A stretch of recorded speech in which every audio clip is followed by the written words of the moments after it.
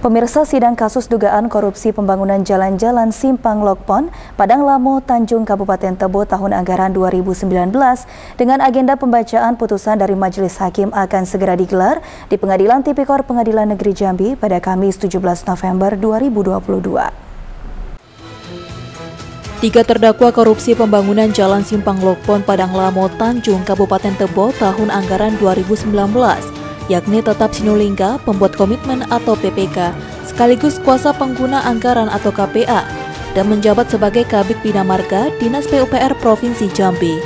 Kemudian Suwarto, Direktur PT Nai Adipati Anom, dan Ismail Ibrahim yang menerima pengalihan mengerjakan proyek tersebut akan menjalani persidangan dengan agenda pembacaan putusan dari Majelis Hakim pada 3 November 2022 di Pengadilan Tipikor Pengadilan Negeri Jambi. Sebelumnya dalam persidangan yang dipimpin Majelis Hakim dengan Hakim Ketua Yandri Roni, Hakim Anggota Yasinta Manalu, dan Hakim Bernard Panjaitan, Jaksa penuntut umum membacakan tuntutan terhadap terdakwa, meminta Majelis Hakim menjatuhkan pidana penjara terhadap masing-masing terdakwa selama empat tahun. Selain pidana penjara, kepada masing-masing terdakwa juga dibebankan membayar denda sebesar 250 juta rupiah, subsidiar 3 bulan penjara.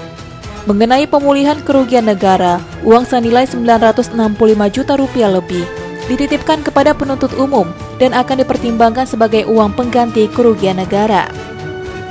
Dalam tuntutan meyakini para terdakwa terbukti bersalah berdasarkan pasal 2 ayat 1 junto pasal 18 ayat 1, 2 dan 3 Undang-Undang Nomor 31 Tahun 1999 tentang pemberantasan tindak pidana korupsi, sebagaimana diubah dengan Undang-Undang Nomor 20 Tahun 2001 tentang pemberantasan tindak pidana korupsi, Junto Pasal 55 Ayat 1 ke 1 KUHP.